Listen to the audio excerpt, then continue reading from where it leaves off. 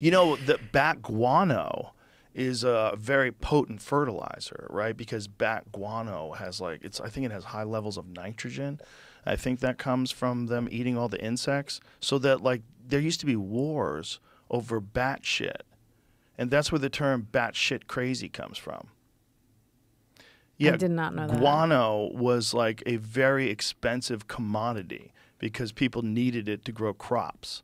So if you could That's get crazy. yeah, bat guano is apparently a very potent fertilizer. They have a 4,300 year old poop core in a Jamaican cave that they've been studying. What? That's 5,000 different species of bats have been shitting on for. Jesus Christ!